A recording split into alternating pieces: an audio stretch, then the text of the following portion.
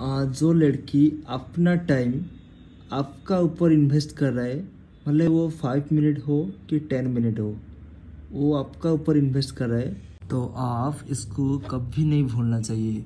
I hope you properly understand because इस तरह लड़की दुनिया में बहुत कम है।